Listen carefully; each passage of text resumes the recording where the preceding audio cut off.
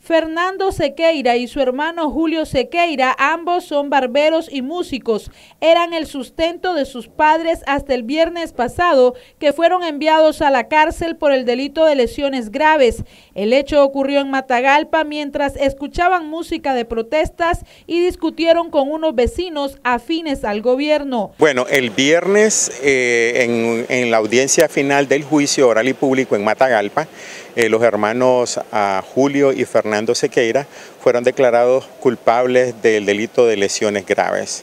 Eh, realmente a mí me sorprendió un poquito el fallo porque los testigos de la, de la Fiscalía este, dijeron de que él se había quebrado el brazo durante una, la, víctima se había quebrado el brazo en una caída que él tuvo y, eso le provocó porque estaba otra persona encima de él lo que estaban peleando.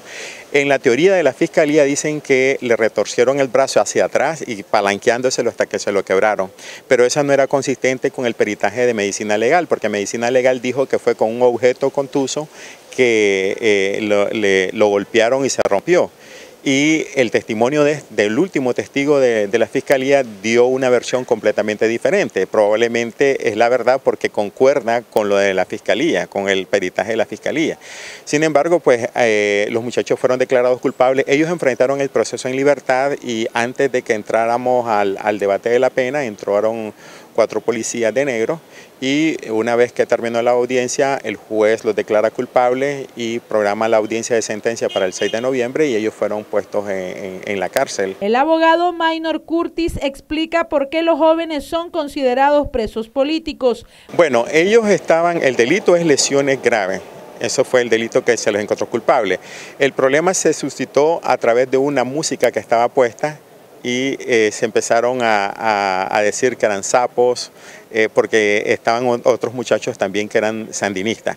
Y, y durante el juicio, todos los testigos, la música era de protesta y todos los testigos empezaron que el problema fue por la música y por la música y por la música. Hicieron énfasis bastante en la música y obviamente ambos tienen tendencias diferentes. Estos muchachos son, eh, eh, la víctima es un trabajador del Ministerio de Salud, trabaja en el hospital de Matagalpa y los muchachos pues son muy conocidos porque participaron en las protestas, en actividades de protesta durante, eh, durante toda la, situación sociopolítica. De hecho, ellos fueron los que organizaron la bienvenida cuando liberaron a los últimos presos políticos que llegaron en Matagalpa. También ellos estuvieron liderando los funerales del señor Edimonte y ellos habían estado muy involucrados en esta situación de, las protestas. Bueno, en este momento vamos a proceder eh, a presentar la apelación posterior a eso y también este, vamos a solicitar la aplicación de la amnistía porque los hechos se dieron en abril 7,